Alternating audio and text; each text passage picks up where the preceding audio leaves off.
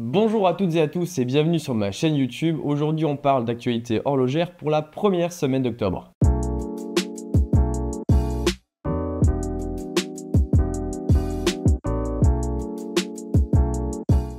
Focus aujourd'hui sur 5 maisons horlogères. On va attaquer avec la Biver automatique, une nouveauté du coup de la manufacture Biver, la Baltic Prismic Stone, une nouveauté également chez Baltic, des actualités de chez Maison Morphin, la marque que j'ai créée. On va parler ensuite de Roger Dubuis comme l'actualité horlogère de la semaine dernière qu'on va indexer d'ailleurs juste ici avec son Excalibur double tourbillon et on va finir ensuite avec la Longines Legend Diver. On attaque donc cette actualité horlogère avec la Biver automatique, une nouveauté de la manufacture Biver qui a été créée par Jean-Claude Biver, une légende de l'horlogerie après son départ de chez LVMH. Après le franc succès avec la Carillon Tourbillon, une montre qui a été affichée à un peu plus de 500 000 euros par la maison Biver et qui a fait d'ailleurs l'unanimité, il lance enfin un nouveau modèle, le Biver automatique, une montre à trois aiguilles. Concernant les caractéristiques techniques de cette montre, on est sur une montre qui fait 39 mm de diamètre pour 10 mm d'épaisseur, ce qui reste très correct en termes de dimension. Ça permettra justement une adaptabilité sur n'importe quel poignet. On a une étanchéité à 80 mètres, soit 8 ATM, ce qui est plutôt atypique pour ce style de montre euh, dans le voilà c'est un secteur ultra luxe. C'est vrai qu'on a plus tendance à avoir soit du 3 du 5 ou du 10 ATM voire même un peu plus pour les montres de plongée. On est sur du 8 ATM on a un boîtier qui est disponible en or rose 18 carats ou en platine 950 concernant les cadrans de cette fabuleuse montre on a des possibilités qui sont diverses. On peut avoir de l'or blanc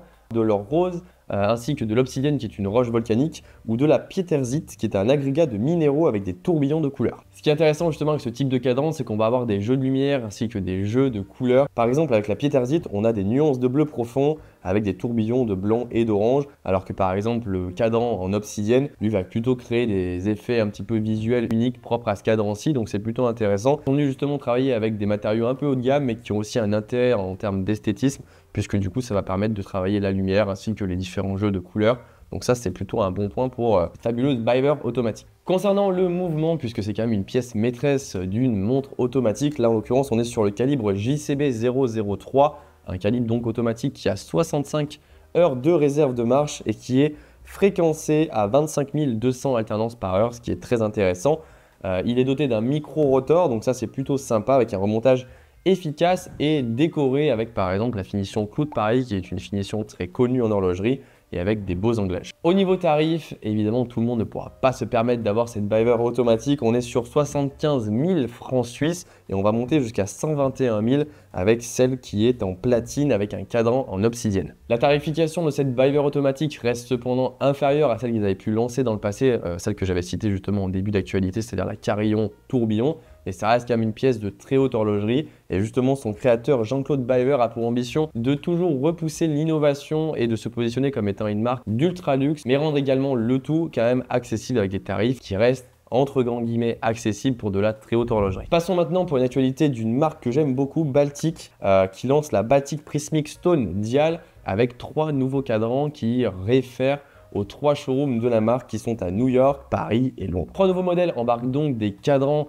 qui sont faits de pierres naturelles et qui sont chacun inspirés de l'âme des métropoles où Baltic aujourd'hui est implanté. Pour New York, on a donc une montre avec du jade vert symbolisant l'énergie vibrante de la ville. Paris, un lapis lazuli bleu pour l'élégance intemporelle de la capitale française. Et enfin Londres avec un agate rouge pour représenter le dynamisme de la ville. Ce qui est intéressant avec ces cadrans, c'est qu'ils sont tous uniques puisqu'ils sont tirés de roches et donc de pierres naturelles. Donc au niveau des nervures, etc., on aura quelque chose d'unique pour chacun des cadrans embarqués sur cette nouvelle Baltic Prismic Stone Dial. Au niveau de l'esthétique de ces nouvelles montres, on a du coup des nouveaux index qui sont inspirés de la Patek Philippe Calatrava. On a des aiguilles dauphines avec une petite seconde qu'on retrouvera à 6 heures qui permet de garder l'identité visuelle du modèle d'origine. Concernant le boîtier, on est sur un diamètre plutôt contenu, on est sur 36 mm avec 9,2 mm d'épaisseur, donc on est sur une montre quand même plutôt fine avec un verre saphir double dôme. Au niveau du mouvement, on est sur un mouvement suisse ETA Précieux 7001, donc c'est un modèle qui est très connu euh, chez ETA et euh, il le célèbre pour sa fiabilité et sa longue histoire. Ils ont également pris soin de le décorer avec des codes de Genève et des mises qui ont été bleues. Au niveau de sa réserve de marche, on est sur quelque chose de confortable puisqu'on est sur 42 heures. Au niveau de l'étanchéité, on est sur 3 ATM, ça reste un petit peu juste même si ça est quand même des montres de ville donc elles n'ont pas destination à être exposées à l'eau ou faire de la plongée. On va quand même faire attention au niveau du ne pas la nettoyer avec de l'eau, mais plutôt y aller avec une lingette euh, sèche pour éviter justement la prise d'humidité, puisque 3 ATM, ça va pas venir euh, résister à grand chose, ça va juste résister aux éclaboussures, donc y faire attention. On est sur un boîtier en acier inoxydable 316L composé en 5 parties, donc ça c'est intéressant au niveau ingénierie, avec une carrure en titane euh, grade 5 pour une légèreté également une résistance, donc c'est plutôt cool puisqu'on est quand même sur une montre de ville, on ne veut pas avoir une montre trop lourde au poignet, donc c'est intéressant. Et au niveau des finitions, on est sur une alternance entre euh, poli et brossé, donc c'est intéressant de jouer avec les deux pour travailler avec, euh, avec la lumière. On est sur une édition limitée euh, à 200 exemplaires et elle est disponible en ligne, mais également dans les trois showrooms de la marque, donc à Londres, à Paris, ainsi qu'à New York. Point de vue tarification, puisque ça vous intéresse sûrement, on est sur une montre à 1500 euros pour sa déclinaison en bracelet cuir courbé, qui est disponible en noir ou camel et on est à 1572 euros pour la version acier au niveau du bracelet qui est en maille milanaise. On passe maintenant à l'actualité Maison Morphin, donc ma propre marque que j'ai lancée. On va parler de plusieurs choses aujourd'hui de manière succincte, de la MM2405, le nouveau modèle squelette. On avance euh, vraiment de manière conséquente au niveau de la production. Euh, on a mis par exemple en ligne cette semaine sur le site internet euh, les fichiers du design puisqu'on essaie d'être très transparent et également de vous donner bah, justement la fibre un petit peu horlogère, vous montrer un peu comment ça se passe, le développement, l'ingénierie, le travail en interne au niveau justement du développement d'une montre. Donc on a partagé quelques fichiers techniques du développement de cette dernière. C'est une nouvelle montre qui a nécessité plus de 50 heures de travail en termes de design. Donc on a vraiment travaillé la superposition d'étages, les finitions brossées, polies, sablées. On a également revu le fermoir. On est maintenant sur un fermoir ajustable. Enfin bref, je vous laisse euh, découvrir cette euh, nouvelle montre qui sera disponible normalement euh, mi-décembre et qui est déjà disponible en précommande, une édition limitée à 100 exemplaires avec un calibre suisse de la manufacture STP avec qui on travaille maintenant depuis pas mal de temps. Donc le lien est dans la bio. N'hésitez pas à regarder. Donc c'est le modèle MM2405. Concernant la MM2407, la nouvelle montre unisex, toujours disponible en précommande. On a fini la production des pièces détachées. On assemble le tout à partir de cette semaine, donc début octobre, et elle devrait être disponible d'ici 2 à 3 semaines en stock. Donc euh, on est sur la dernière ligne droite, donc pour ceux qui voulaient la précommander, n'hésitez pas. Euh, au niveau du packaging, on va bientôt réceptionner d'ici 3 semaines, un mois, justement euh, le nouvel écran avec le nouveau coffret, la nouvelle surboîte.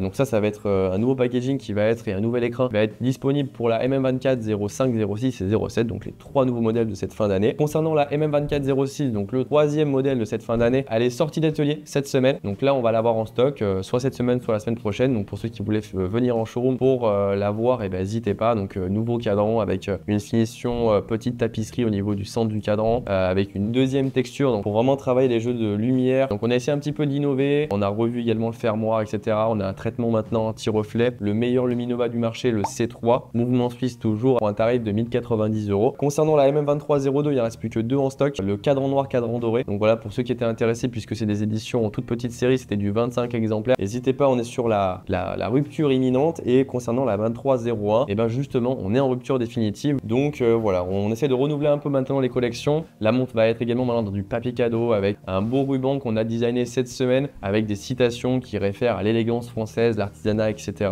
Donc voilà on essaie un petit peu de remoduler la chose sans augmenter forcément le coût d'achat pour pas trop répercuter derrière sur un prix de vente qui augmente. On est sur des montres maintenant qui vont être de, entre 1090 et 1370 euros qui restent très honnêtes pour des petites séries avec des matériaux haut de gamme. On a également du tungstène qu'on a inclus sur la MM2405. Donc voilà, bracelet ajustable, du tungstène, de l'AC316L, le Luminova le plus haut de gamme du marché, un traitement anti-reflet. On a même des biseaux sur euh, le verre saphir. Donc voilà, on a essayé de travailler la chose. Si ça vous intéresse, euh, on fera peut-être une vidéo avec notre designer sur euh, bah, les subtilités de design qui demandent des grosses technicités en, bah, interne ici avec notre, nos usines partenaires. Par exemple, un verre saphir biseauté, c'est très compliqué, même niveau étanchéité, il y a des gros challenges avec les usines avec qui on travaille pour respecter des étanchéités à 100 mètres comme on veut maintenir sur l'ensemble de nos collections. Donc voilà, point de vue Maison Morphin, ça avance. Que voilà, n'hésitez pas. De toute façon, tous les liens de tous les nouveaux modèles sont disponibles dans la description de cette vidéo. On passe maintenant chez la manufacture Roger Dubuis avec l'Escalibur double tourbillon Cobalt, une manufacture que j'adore personnellement, euh, de par leur design qui sont atypiques, plutôt travaillés. Ils mettent un gros accent là-dessus avec beaucoup de détails et personnellement, j'adore ce type de design, mais également au point de vue horlogerie avec des prouesses techniques, des nombreux brevets qu'ils ont pu déposer. Donc là, aujourd'hui, on fait un focus sur euh, un nouveau modèle qu'ils ont dévoilé euh, au célèbre salon Watch and Wonders 2024 qui se déroulait cette année à Shanghai. Elle incarne l'hyper horlogerie de euh, Roger Dubuis qui allie performance mais également esthétique, ce que je disais juste avant. Ils arrivent à mêler justement des montres vraiment de designers qui sont vraiment travaillées, qui sont vraiment des œuvres d'art avec bah, prouesse technique, avec des complications comme par exemple celle-ci qui est une double tourbillon. Pour parler un petit peu de la marque, elle se distingue depuis plus de 20 ans avec justement les tourbillons, un mécanisme signature qu'ils ont su réinventé. Concernant ce calibre avec ce double tourbillon, il ne date pas de 2024 puisqu'il a été lancé en 2005 avec le calibre RD pour Roger Dubuis 0. Cette nouvelle Excalibur signée Roger Dubuis utilise donc ce double tourbillon volant qui est un mécanisme complexe avec un différentiel régulateur pour compenser justement l'effet de la gravité sur le calibre. Concernant le calibre de cette Excalibur, on est sur le calibre RD 108 SQ, voilà je l'ai pas écorché, ils ont poussé la chose un peu plus loin qu'en 2005 avec le calibre RD 01 qui était un peu plus simpliste. On est sur un mécanisme à remontage manuel avec une réserve de marche plutôt conséquente puisqu'on est sur 72 heures. Au niveau des composants, on est sur 319 composants et oui, il font euh, justement honneur à la beauté mécanique des mécanismes suisses avec une décoration à la main avec plus de 17 finitions différentes. Ils ont également justement le critère d'excellence, c'est-à-dire le poinçon de Genève. Je pense qu'ils l'ont mérité avec une technicité comme celle-ci et une finition fait main euh, et plus de 319 composants. Donc voilà. Donc gros respect à Roger Dubuis qui sait toujours repousser les prouesses techniques avec des finitions qui sont juste et eh ben, euh, parfaites avec plus de 17 finitions. Là, clairement, on est sur de la très très haute horlogerie qu'on appelle même maintenant hyper horlogerie. Au niveau du boîtier, on est sur un boîtier plutôt conséquent, on est sur 45 mm de diamètre. Donc voilà, chez la manufacture Roger Dubuis en général, on est sur des diamètres comme ça, un peu, un peu plus gros que la norme. Moi personnellement, je suis un peu moins fan par contre de ces gros boîtiers en 45 mm.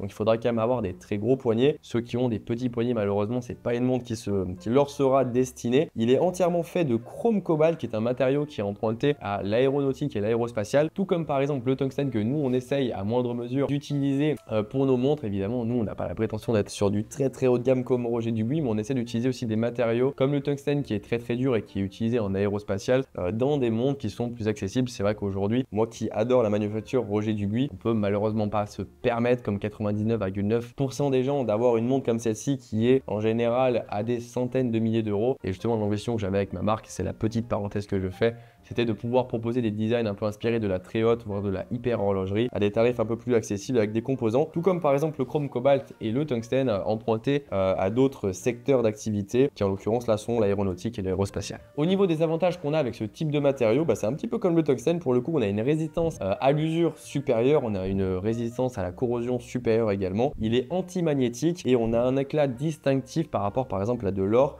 du titane. Au niveau du design et des couleurs, on a un bracelet en cuir de veau bleu avec un système de libération rapide, donc ça c'est toujours très intéressant et très pratique. Et on a également l'architecture squelettée avec l'étoile un petit peu signature de la maison Roger Dubuis qui est également revêtue de bleu. Au niveau du nombre de pièces qui sera édité pour ce modèle Excalibur double tourbillon, on est sur 28 pièces, donc on est vraiment sur une très très petite série.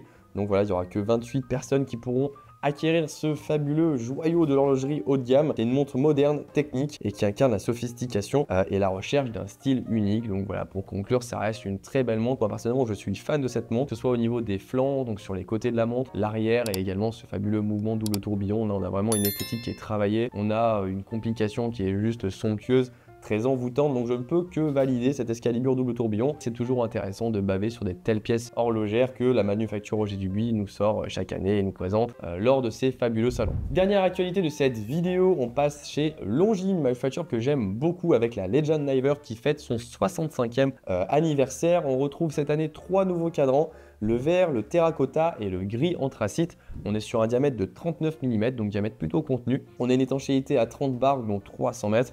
On est très très confortable avec du 300 mètres. Concernant les caractéristiques techniques de cette fabuleuse montre, on est sur une montre certifiée euh, montre de plongée avec la fameuse norme ISO 6425. Elle est également certifiée COSC, donc c'est le contrôle officiel suisse des chronomètres, une certification intéressante qui euh, justement va venir tester la précision de la montre avec une tolérance allant de moins 4 à plus 6 secondes.